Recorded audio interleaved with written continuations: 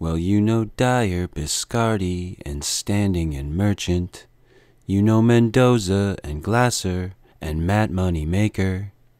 But do you recall the most famous asshole of all?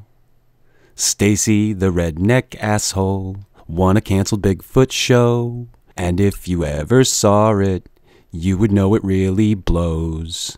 All of the other assholes used to laugh and call him names. They never let poor Stacy join in any hoaxing games. Then one rainy southern night, Stacy came to say, Daddy, with your thermal bright, won't you help me hoax tonight? Then how the assholes loved him as they shouted out with glee. Stacy the red-necked asshole, you'll go down in history.